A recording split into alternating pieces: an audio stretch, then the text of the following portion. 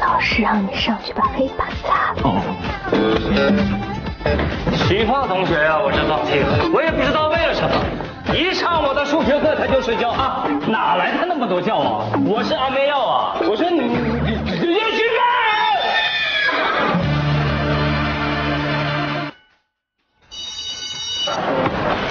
李西施，你给我站住！你给我站住！李西施，你这个胆小鬼！